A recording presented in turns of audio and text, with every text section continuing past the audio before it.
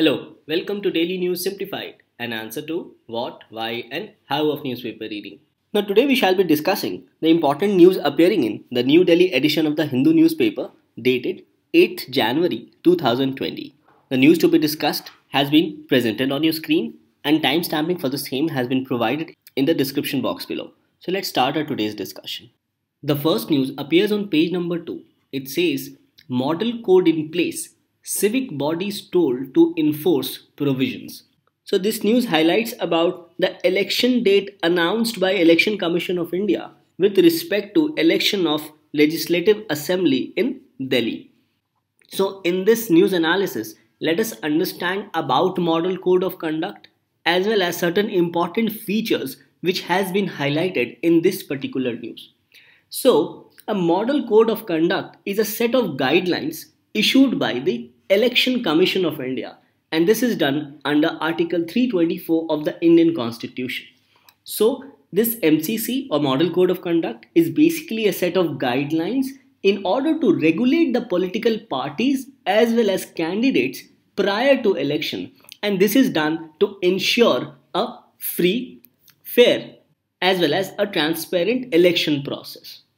So effectively we can say that the model code of conduct is primarily for guidance of political parties and candidates as a set of norms which have been evolved with the consensus of these political parties who have consented to abide by the principles embodied in the said code and also binds them that is bind the candidates as well as the political parties to respect and observe the model code of conduct in letter and spirit. However, it must be remembered that the Model Code of Conduct does not have any statutory backup or any statutory standing, and it is just a mere set of guidelines issued by the Election Commission and duly abided by the candidates and political parties during the course of election process. Now this topic becomes important from our examination perspective both from prelims and mains point of view. In mains, this topic gets covered under GS paper 2 specifically with respect to conduct of elections. So as you can see, Article 324 mentions about superintendence, direction and control of elections to be vested in the Election Commission of India. So the Model Code of Conduct comes into effect straight away after the announcement of election schedule by the Election Commission of India. Now this point must be remembered from your prelims point of view that it comes into effect after the announcement of election schedule by the Election Commission of India and does not come into effect after the election notification. Now, the importance of Model Code of Conduct arises from the fact that it aims to ensure that the ruling party, either at the center or in the states, does not misuse their official position to gain an unfair advantage in an election. So, in this regard, the Model Code of Conduct acts as a guidance for political parties and candidates in the election process. So in this regard, let us go through some of the frequently asked questions on the website of Election Commission of India with respect to the Model Code of Conduct. And then we shall discuss the important features which have been highlighted in this particular news, especially with respect to the conduct of elections in Delhi. So one of the most important question is that from which date the Model Code of Conduct is enforced and operational and up to which date. So as we have already discussed that it comes into effect from the date of announcement of the poll schedule. And the MCC is operational till the process of elections are completed. So it basically means at the end of voting on the last voting day as announced by the Election Commission of India. The next question is what is applicability of code during elections and by elections? So this model code of conduct is applicable during the elections to House of People that is Lok Sabha. It is applicable during the elections to the Legislative Assembly as well as during the by-elections. So model code of conduct is applicable during the election of Lok Sabha, Vidhan Sabha as well as by-elections. It further says that what are the salient features of model code of conduct? It lays down that how political parties, contesting candidates as well as party or parties in power should conduct themselves during the process of elections and this MCC becomes applicable on their general conduct during electioneering, with respect to their holding meetings and processions, their poll day activities, and also with respect to functioning of the party in power when the model code of conduct comes into effect. The next question is whether a minister can combine his official visit with electioneering work. The answer is simple no. The ministers shall not combine their official visit with electioneering work and shall not make use of official machinery or personnel during the electioneering work. So basically, the ministers cannot use public money for their political end. Next, whether government can make transfers and postings of officials who are related to election work. Now it says that there shall be a total ban on transfer and posting of all officers as well as officials either directly or indirectly connected with the conduct of elections. And in this regard, if any transfer of posting of an officer is considered necessary, then a prior approval of the election commission must be obtained. Now it is important to note that at times election commission itself also transfers certain officials with respect to the conduct of election. So effectively it becomes the sole priority of the election commission of India to transfer any official or not in a proposed jurisdiction where election is to be conducted.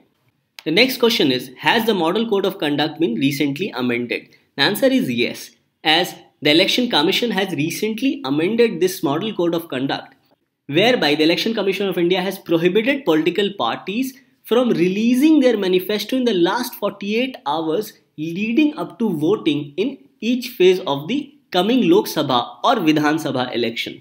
So, any political party, if they have to release their election manifesto, then it must be done before 48 hours of the first phase of polling.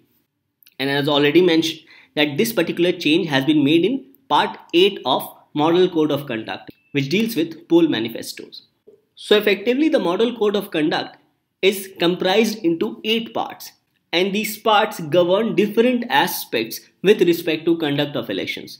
Part 1 is about general conduct, Part 2 is about meetings. Part 3 is about processions. Part 4 is about polling day. Part 5 is about polling booth. Part 6 is about observers. Part 7 is about party in power. And Part 8 is about guidelines on election manifesto. Now, another important point which must be remembered is that with respect to observance of model code of conduct, it also applies to social media. So basically the government in power cannot use social media to further their political objective after the model code of conduct has come into effect. Now, after understanding these basic facts about model code of conduct, let us go through some of the important aspect which has been highlighted in this particular news, especially with respect to conduct of election in Delhi. So the news reads that with the announcement of the dates of Delhi Assembly elections, the model code of conduct has come into place and this was announced by the chief electoral officer in this regard it says that all government departments have been instructed to take down political posters and images of political leaders from their websites and social media accounts within 24 hours of the MCC coming into effect. And in this regard, even the urban local bodies of Delhi have been instructed to enforce these provisions of Election Commission of India with respect to enforcement of Model Code of Conduct. Now another important aspect highlighted in this news is with respect to absentee voters. It says that persons with disabilities flagged on electoral roll and senior citizens above the age of 80 years across Delhi will have the facility to cast their vote as absentee voters. And such persons who want to cast their vote as absentee voters need to file their applications with the respective returning officer within 5 days from the notification of the election which will be done on 14th January 2020. Now in this regard you must know about absentee ballot. It means or it refers to a vote cast by someone who is not able to go to the polling station. So with respect to Delhi, the election commission has ensured that people with disability and senior citizen above the age of 80 years will have the facility of absentee ballot and in this regard the election commission shall do all the necessary efforts which is required However, if such persons want to avail this facility of absentee ballot, then they must file their applications with the respective returning officer within 5 days from the notification of election which will be done on 14th January 2020. So basically the absentee voters must file their application from 14th January to 19th January 2020 in order to avail the facility of absentee ballot.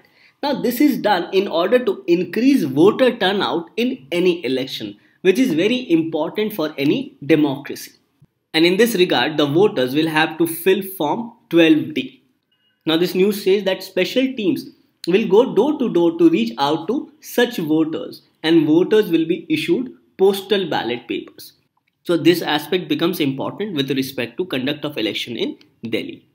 For the voters of Delhi, they shall also have the facility to use digital voter slip as per the chief electoral officer.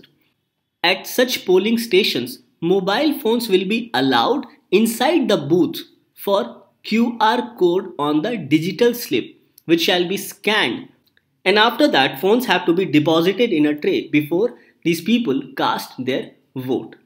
So in this regard the ECI also provides for digital photo voter slip and this can be downloaded from the voter helpline mobile app of election commission. Now this extract has been taken from the website of election commission which says that this experimental feature shall be available to those who link their epic number with mobile number. Now EPIC stands for Electoral Photo Identity Card. So the website of Election Commission of India highlights that to avail the facility of digital photo voter slip, the voters must link their electoral photo identity card with their mobile number. So this is another added feature which will be available during the elections in Delhi. Thus this news becomes important from the perspective of polity and governance from GS paper 2. With this, let's move on to our next news discussion. Now, the next news which we have taken for our discussion appears on page number 11 from the archives.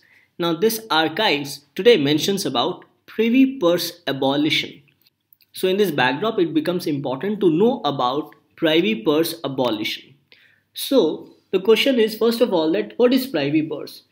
Now, in India, a privy purse was a payment made to the former princely states or the royal family as a part of arrangement for them to integrate within Indian territories. Now we know that when India got its independence in 1947, there were roughly more than 560 princely states. So, in order to make these princely states join Indian territory, Privy purse was sort of a settled offer whereby payment shall be made to these rulers by the government of India. Now this privy purse also becomes important because after the Indian Independence Act of 1947, this particular act gave these princely states the choice either to join India or to join Pakistan or to remain independent. So basically, privy purse was sort of a consideration for these princely states to sign the Treaty of Accession with India. So on signing the instrument of accession, the government of India granted these princely states a privy purse which was a specified sum of money that was payable annually to the rulers of such states. However, the privy purse was abolished through Constitution 26th Amendment Act of 1971 and this was done by Mrs. Indira Gandhi when she was the Prime Minister of India. Now this becomes an important aspect from your prelims point of view as in 2019 a question was asked with respect to 9 schedule and who was the Prime Minister of India. So in this backdrop, you must know that the Constitution 26th Amendment to abolish privy purse was initiated during the tenure of Mrs. Indira Gandhi as Prime Minister. Further, the payments of privy were made to these former rulers under the constitutional provisions of Article 291 and 362 of the Indian Constitution. However, this practice of privy purse was often questioned as a relic of the colonial past. Now this concept of privy basically conferred a special status to the ruling class and thereby it went against the concept of equality as well as an egalitarian society as prescribed in the Indian constitution. Further, privy purse was also seen as an added economic pressure on a newly born independent country which was ridden with poverty, hunger and security challenges. So in all these backdrop, this concept of privy purse was abolished as a socialist and egalitarian measure through Constitution 26th Amendment Act 1971. So in its statement of objects and reasons, the Constitution 26th Amendment Act 1971 states that the concept of rulership with privy purses and special privileges unrelated to any current functions and social purposes is incompatible with an egalitarian social order. Government have therefore decided to terminate the privy purses and privileges of the rulers of former Indian states and in this regard it is necessary for this purpose apart from amending the relevant provisions of the constitution to insert a new article therein so as to terminate expressly the recognition already granted to such rulers and to abolish privy purses and extinguish all rights, liabilities and obligations in respect of privy purses. And accordingly, the Constitution 26th Amendment Act 1971 inserted Article 363A in the Indian Constitution. And in this regard, Article 363A read recognition granted to rulers of Indian states to seize and privy purses to be abolished. So with respect to privy purse, you must remember that Article 291 and 362 were omitted from the Indian Constitution and a new article was inserted, namely Article 363A in the Indian Constitution which not only seized recognition granted to rulers of Indian states but also abolished privy purses. Now it is important to note that even though government of India had agreed as a principle to give privy purses to these former princely states, despite this fact, previous prime ministers of India including Jawaharlal Nehru had expressed their dissatisfaction over the matter time and again. So it says that Following the 1967 elections, Indira Gandhi supported the demand that government should abolish privy purses. However, this move of Indira Gandhi was opposed by Morarji Desai. And he called this move morally wrong and amounting to a breach of faith with the princess. So, in this aspect, you must remember that Morarji Desai did not support abolition of privy purses. It further highlights that the government tried to bring a constitutional amendment in 1970, that is a year earlier, but this was not passed in Rajya Sabha. Further, it then issued an ordinance which was again struck down by the Supreme Court with respect to abolition of privy purses. So effectively, Indira Gandhi made this into a major election issue in 1971 and thereby got a lot of public support. So after winning the election in 1971, Indira Gandhi abolished privy purse through Constitution 26th Amendment Act 1971. Now as mentioned earlier, this was the question which was asked in the prelims of 2019. The question was, the ninth schedule was introduced in the Constitution of India during the Prime Ministership of. Now the ninth schedule of the Indian Constitution was added through Constitution First Amendment Act and it was added during the Prime Ministership of Jawaharlal Nehru. So similar questions can be asked with respect to privy purse as well as other initiatives taken during the reign of Mrs. Indira Gandhi as Prime Minister of India. So it says that Indira Gandhi led the Congress party to victory in 1967, 71 and 1980 general elections. It further highlights that she is also credited with the slogan Garibi Hatao, Victory in 1971 War and also for policy initiatives like abolition of privy purse, nationalization of banks, nuclear test, and environmental protection.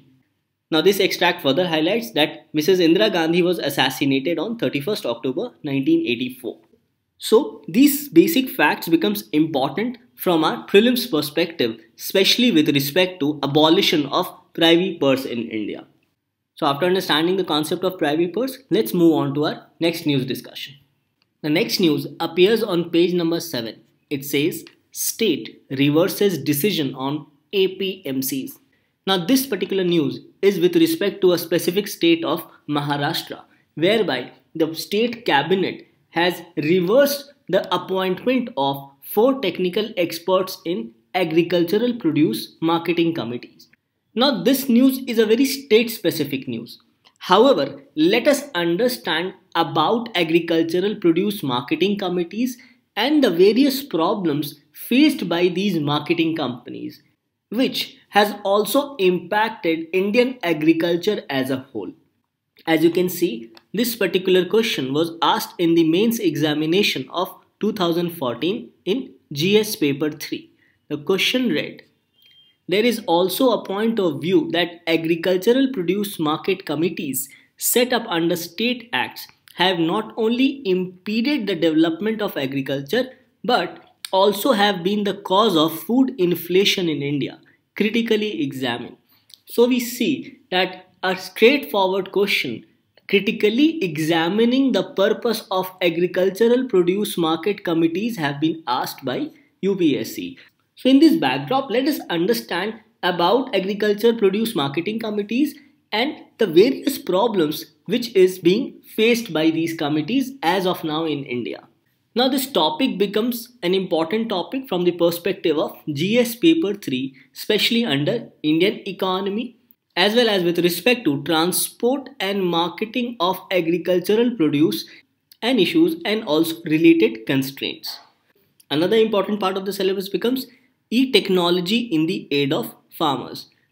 Further, issues related to direct and indirect farm subsidies, minimum support price, as well as public distribution system objectives, functioning limitations, as well as revamping. So in this background, this topic on agricultural produce marketing committees becomes very important. Now APMC is a statutory market committee constituted by respective state government as per their respective state APMC acts. Now the objective of these APMCs are to develop an efficient marketing system to market agricultural produce, to promote agricultural processing and agricultural exports and also to specify procedures as well as systems to establish an effective infrastructure for the marketing of agricultural produce. Essentially, Indian agriculture can be seen to be consisting of two distinct components that is production as well as post-production activities. Now production activities in agriculture includes cultivation of agricultural crops whereas post-production activities relates to marketing related activities of such agricultural produce.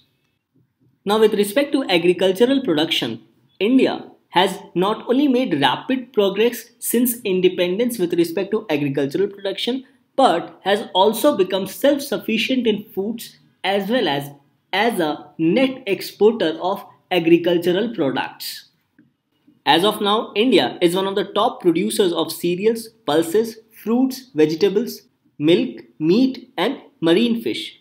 However, we have not made equal progress with respect to post-production capabilities. So in this aspect, the post-production activities of Indian agriculture has not kept pace with respect to agricultural production since independence. And in this regard, the agricultural marketing in India still continues to remain outdated. Hence, in spite of record production of agricultural commodities, the farmers are not able to get remunerative prices on their agricultural produce. Further, this problem has got manifested in the form of agrarian distress and increase in farmers' suicide. The increase in the instances of dumping of agricultural produce such as tomatoes, potatoes, milk, etc. on the roads by farmers highlight the urgency to carry out reforms in the agricultural marketing in India. So in this regard, the rapid growth of Indian agricultural production in India calls for a paradigm shift in the post-production capabilities of Indian system.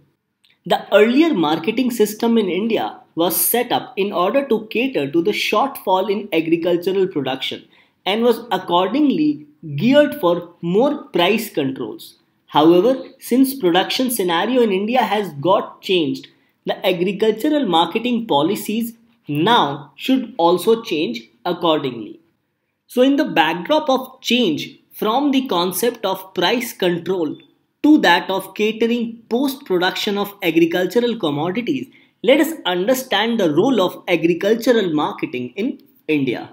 Agricultural marketing in India has a much broader connotation and basically includes all activities in the procurement process of farm inputs by the farmers. Further, it also includes the movement of agricultural produce from the farmland to the end consumers, including industries as well as traders. Now, this movement from farmland to the end consumers goes through a number of processes, including the agricultural produce marketing committees. Further, this movement from farmland to end consumers entails a number of activities such as storage of farm produce, physical handling of such farm produce, transportation, primary processing, grading and packaging, and finally selling of such farm produce to its end consumers, industries, or traders. So we can say agricultural marketing involves all the aspects related to agriculture while excluding the core activity of cultivation. So we understand that an efficient agricultural marketing system is extremely important for the growth of agriculture sector in India on account of number of reasons. So effectively we can say that there is a need for an efficient agricultural marketing in India for the following reasons. Namely, first, an efficient and well connected agricultural marketing enables the farmers to buy agricultural inputs such as fertilizers at affordable prices. Now, buying agricultural inputs at affordable prices becomes very important as agricultural input costs have been increasing over a period of time. Secondly, it provides signals to the farmers with respect to planning for sowing of crops. By making use of market signals, the farmers would be able to grow those crops which are high in demand and thereby get remunerative prices. Further, a well connected and an efficient market would also be able to address the food inflation since it would be able to match the supply with that of demand. And additionally, announcement of MSP by the government will also help the farmers in knowing which crop to sow in a particular season. Thirdly, an integrated domestic marketing system would considerably reduce price variations of agricultural commodities in the market. Now, this would enable farmers to sell their produce anywhere in India without much of price fluctuations thereby getting best prices for their produce. Now a high level expert committee was constituted by Ministry of Agriculture and it has estimated that around 25 to 30% of fruits and vegetable and around 8 to 10% of food grains get wasted due to inadequate storage facilities. Further, food grains are wasted annually as well due to lack of post-harvest technology and non-existence of integrated transport, storage and marketing facilities. So in this regard, an effective marketing infrastructure would enable the farmers to reduce their post-harvest losses, thereby improving their farm income. And lastly, there is a lot of scope for India to boost its export of agricultural commodities However, India has failed to make optimum utilization of this particular opportunity. So, considering all these aspects, the agricultural marketing policies can act as an enabler for boosting agricultural exports. So, after understanding the need for an efficient agricultural marketing in India, let us understand the problems with agricultural marketing in India. Now, the agricultural marketing continues to face multifaceted challenges and problems in India. Now, it's important to understand that when India adopted LPG reforms in 1991, it was expected that agricultural marketing would also be liberalized in the same manner. However, the government failed to bring out any significant reforms with respect to agricultural marketing in tune with the then changed environment of LPG. The agricultural marketing still continues to be plagued by problems such as fragmented supply chain, poor marketing infrastructure, higher post production losses, and also there is a lack of timely information system with respect to agricultural produce in different warehouses. So considering these aspects, let us look into the problems afflicting the agricultural marketing in India. Now the first problem is with respect to regulation of markets. Now under the present APMC Act, only the state governments are permitted to set up markets. The act requires that farm produce to be sold only at regulated markets through registered intermediaries. Further, the Essential Commodities Act allows central and state governments to place restrictions on storage and movement of commodities deemed essential by the government. So, such kind of regulations has stifled the private sector investment in agricultural marketing infrastructure. Further, such restrictions also create artificial barriers and unnecessarily hinder free flow of agricultural commodities in India.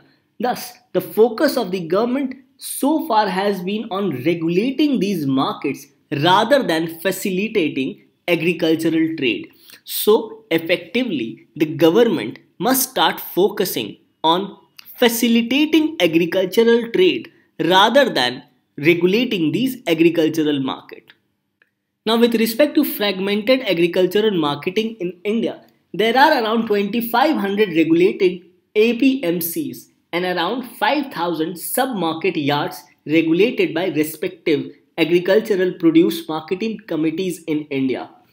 Apart from that, there are thousands of rural markets or Grameen Hats. Hence, due to this fragmented marketing infrastructure for agricultural produce, the agricultural commodities pass through multiple middlemen and traders who operate in APMC. This effectively leads to escalation in the cost of prices of agricultural produce and effectively prevents the farmers from getting remunerative prices. Hence, the government must focus to reduce these middlemen at different levels operating at different APMCs. And ideally, the farmers should be allowed to sell their produce anywhere throughout India based on prices which they get as allowing farmers to sell their produce anywhere in India will significantly improve their bargaining position and enable them to earn more income. So, in this regard, the present fragmented marketing infrastructure goes against the very interest of both farmers as well as consumers. So, in this regard, there is a need to develop an integrated domestic market by removing all existing agricultural trade related barriers. Now, with respect to lack of access to APMCs, adequate number of markets should be set up closer to agricultural fields by respective state government as this will give farmers more access to APMCs. This will also lead to decrease in transportation cost for the farmers and cut down post harvest losses. Now, in this regard, the National Commission for Farmers has recommended that each APMC should serve a market area of around 80 square kilometer and it should be made available to farmers within a radius of 5 kilometers. However, as of now, an average APMC in India serves as an area of around 450 square kilometer as against to the recommendation of 80 square kilometer and this aspect denotes higher transportation cost and higher post harvest losses for the farmers. So, on this account, farmers are forced to sell their produce at a lower price outside the APMCs because of huge transportation cost and also because of greater distance from the farm. So the government must ensure that there is adequate access to farmers to their nearest APMCs. Now another point highlighted is with respect to the fact that agricultural marketing practices in India is against the interest of small and marginal farmers. Almost 85% of the farmers in India are small and marginal and hence these farmers who have lower farm income find it difficult to aggregate their produce and sell it to APMCs through auction. So, these farmers end up selling their produce to local agents and traders at much lower prices. And hence, they are not able to get remunerative income which they should have got if they have sold their produce in APMCs. So, as of now, agricultural marketing in India is acting against the interest of small and marginal farmers, which accounts for roughly 85% of Indian farmers. Now, another point highlighted is with respect to poor infrastructure of APMCs. Now, poor infrastructure of APMCs leads to improper storage and consequently higher post harvest losses. Further, most of the APMCs have not been able to set up electronic auction platforms which are quite important for offering remunerative prices to the farmers. Thus, infrastructure development of APMCs in line with modern technologies is the utmost need of the hour.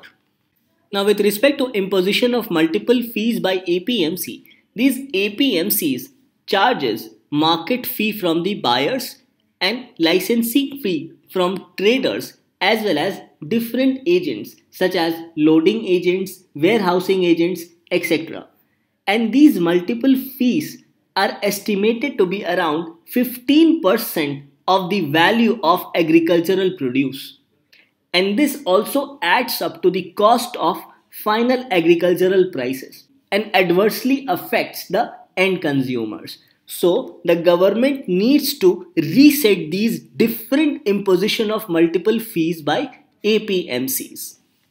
And finally, with respect to higher post-harvest losses, according to a recent study, the total estimate loss in India is around 92,000 crore rupees.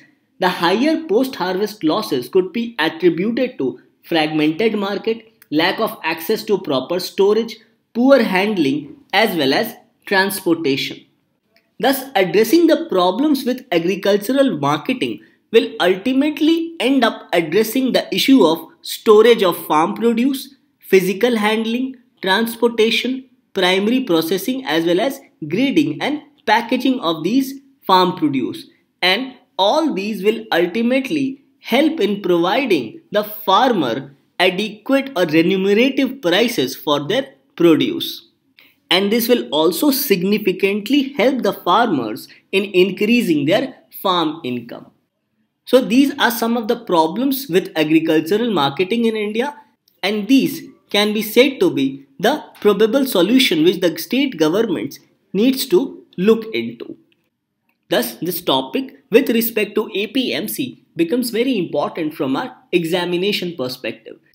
The next news appears on page number 1. It says government projects slower GDP growth. 5% estimate in line with RBI forecast. Now, recently, the National Statistical Office, that is NSO, released the first advanced GDP estimates for the financial year 2019 20. The real GDP growth rate has been said to be at 5% for 2019 20, and nominal GDP growth rate has been said to be at 7.53%. And this nominal growth rate of 7.53% is considered to be lowest since 1975 76.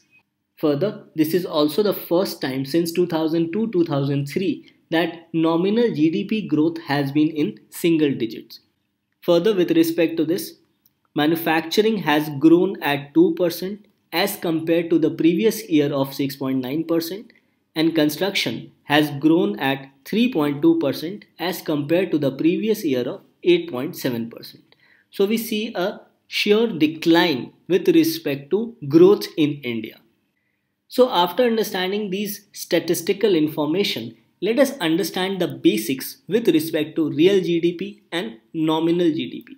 Now, real GDP refers to GDP at base year prices, and the base year prices is taken from the year 2011 2012, and it is calculated as per the market prices in that base year. Whereas the nominal GDP refers to GDP at current market prices, that is, GDP calculated as per the market prices for the year for which GDP is calculated. So it takes into account inflation in the economy. Whereas real GDP negates inflation in goods as well as services. Now, if the inflation in an economy is high, then the nominal GDP would be quite higher as compared to the real GDP. However, if there is deflation in the economy, then in such a situation, the real GDP will be higher as compared to nominal GDP.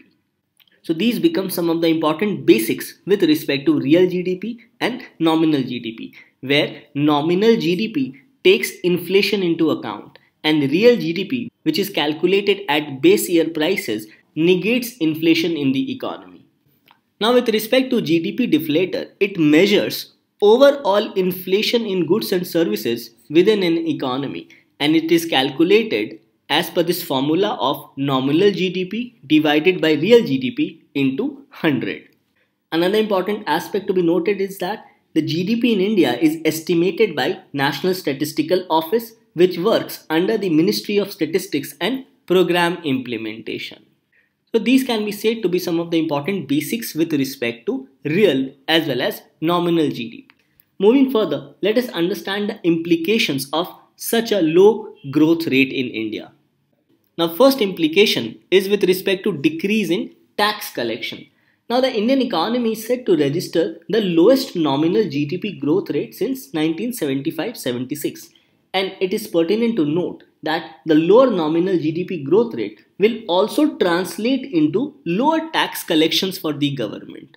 Hence, the government needs to work on to increase its revenue sources. The next implication is with respect to breach of fiscal target by the government. Now you must understand that there are four drivers of growth, namely private consumption, government expenditure, investment and exports. And except government expenditure, all other drivers of growth have witnessed a decline. That is, there has been a decline in private consumption, investment as well as exports. So the present economic slowdown has in turn put pressure on the government's different sources of revenues. So going forward, the government may find it difficult to sustain its higher expenditure on because of lack of revenue sources and hence government might not be able to meet its fiscal deficit target of 3.3% of GDP. Now further, the single digit growth rate of nominal GDP would also translate into lower profit for companies. And this will have two adverse impacts. That is, first of all, it will reduce their investment expenditure and secondly, it will also result in slow increase in salary of employees and this will ultimately see decline in consumption expenditure as less money is credited to people's account, they will end up spending less and they will end up saving more. And this will eventually lead to decrease in investment as well as consumption expenditure in the economy. The next point highlighted with respect to implication is failure of government's policies. Now in the recent past, both the central government as well as Reserve Bank have taken a number of measures to revive the Indian economy for instance, the government reduced corporate tax and took various reforms to boost exports, whereas the RBI ended up reducing repo rates to the account of 135 basis points. So, despite adding so much money in the economy, there is still lack of growth in the Indian economy, and this is a cause of concern. And also the fact that all these measures taken by government and RBI have collectively failed to revive the Indian economy. Hence, we can say that there has been a failure of government's previous policies. The next implication is with respect to global challenges, as the release of first advance estimate comes at the backdrop of growing volatility in international politics. Now, already the Indian economy was facing the onslaught of trade war and rising protectionism. And now this problem has further compounded amid growing tensions between Iran and United States. Now the escalation of conflict will have an impact in West Asia and this will also lead to increase in international crude oil prices and this will in turn put pressure on India's trade deficit leading to rise in or increase in India's current account deficit. So all these aspects must be kept in mind when the Indian finance minister present her budget in the next month. And the whole focus of the government must be to revive these drivers of growth including rural demand. Thus this topic becomes important from our economy point of view and questions can be asked in your prelims as well as mains examination with respect to the current state of Indian economy. The next news appears on page number 9. It says it is up to states to provide 10% quota to economic and weaker sections of the society. Now, this news highlights that the central government has informed the Supreme Court that it would be the state's prerogative to provide 10% economic reservation in government jobs and admission to education institutions. Now, in this backdrop, it's important to note that the EWS quota was introduced through Constitution 103rd Amendment Act and provides 10% reservation to members of economically weaker sections of the society. And for this, new provisions has been added in the Indian Constitution as Article 15 Clause 6 and Article 16 Clause 6. So in this backdrop, let us go through some of the important points of the Constitution 103rd Amendment Act of 2019.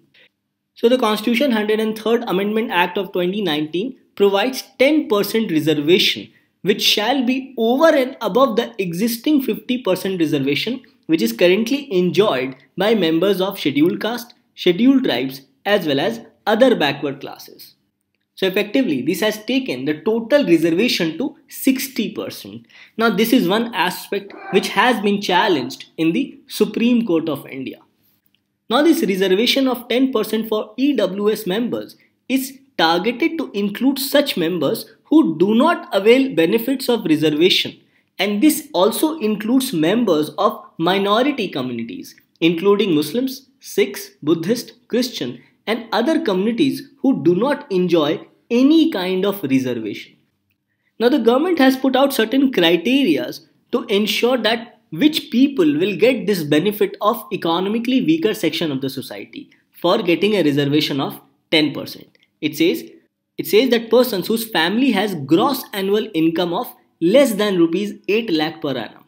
Now here you must understand that this amount of rupees 8 lakh per annum is for gross family income. Next, person who possesses less than 5 acres of land, a person who has agricultural land of less than 5 acre, who has a house smaller than 1000 square feet, who lives in a municipality and has a residential plot smaller than 100 yards, and for those who live in a non notified municipality who has a residential plot of less than 200 yards. Another important point to be noted is that economically weaker sections of the society shall be notified by different state governments from time to time. And this will be done on the basis of family income and other indicators of economic disadvantage. So basically, state governments can also come up with their own set of criteria to give reservation under EWS. As already mentioned, the Constitution 103rd Amendment Act 2019 has introduced Article 15 Clause 6 and Article 16 Clause 6. So let's go through the important provisions of both these articles. Now, as we already know that Article 15 of the Constitution prohibits discrimination against any citizen on grounds of race, religion, caste, sex or place of birth. However, as per Article 15.4, the government may make any special provision for the advancement of any socially and educationally backward classes of citizens or for the scheduled caste and the scheduled tribes And it is here where the Constitution 103rd Amendment Act has added Article 15 Clause 6, whereby a state can make any special provision for the advancement of any economically weaker sections of the citizens which the state is free to regulate. Next, state can make any special provision for the advancement of economically weaker sections of citizens with respect to admission to educational institutions including private educational institutions whether aided or unaided by state. So this reservation shall also apply to private educational institutions which are either aided or unaided by the state. However, this particular reservation of 10% shall not be applicable to minority educational institutions. Now this become an important aspect to remember from your prelims point of view. Next, reservation to such educational institution will be in addition to the existing reservation and subject to a maximum of 10%. So basically reservation under EWS has been capped at 10% and this is over and above the existing 50% reservation. Now Article 16 provides for prohibition of discrimination in employment in any government office. So hereby the Constitution 103rd Amendment Act has inserted Article 16 Clause 6 whereby the state may make any provision for the reservation of appointments or posts in favor of any economically weaker sections of the citizens in addition to existing reservation and subject to a maximum of 10%. So effectively, reservation of 10% to members of EWS shall be provided in educational institution as well as in public employment. Now after our discussion, these forms your practice question number 1 and practice question number 2. First, consider the following statements. Model Code of Conduct comes into effect on the date of notification of election by Election Commission of India. Now this statement is incorrect as it comes into effect the day on which election schedule is announced by the Election Commission. Second, Model Code of Conduct prohibits political parties from releasing their manifestos in the last 72 hours leading up to voting from first phase of polling. No, this is incorrect as the correct answer would be 48 hours. So the question is which of the statements given above is are incorrect. So both the statements are incorrect hence the correct answer is C. Question number 2. Which of the statements about Privy Purse is are correct? First, Privy Purse acted as a consideration for rulers of former Indian princely states to sign treaty of accession with India. Yes, this is correct. Second, Constitution 26th Amendment Act 1971 abolished privy purse in India. Yes, this is correct. Third, privy purse was abolished during the tenure of Mrs. Indira Gandhi as Prime Minister. Yes, this is also correct. So the question is select the correct answer using the code given below. So the correct answer is D that is 1, 2 and 3. Now moving on to question number 3. It says which of the following can be said to be bottlenecks for growth of agricultural marketing in India? Options are fragmented agriculture supply chain. Yes, this is correct. Second, lack of access to APMCs for marginal farmers. Yes, this is also correct. Third, poor infrastructure of warehousing facilities for agricultural produce. Yes, this is also correct. And fourth, domestic trade barriers in agriculture. Yes, this is also correct. The question is select the correct answer using the code given below. So the correct answer is D 1, 2, 3 and 4. Question number 4. Consider the following statements. First, real GDP growth rate is calculated at base year prices and takes inflation into account. No, it does not take inflation into account. Second, nominal GDP growth rate is calculated at current market prices but does not take inflation into account. No, nominal GDP growth rate takes inflation into account. So the question is which of the statements given above is are incorrect. So here again both statements are incorrect. So the correct answer is C that is both 1 and 2. With this we come to an end to discussion of today's newspaper. Let's move on to the question for the day.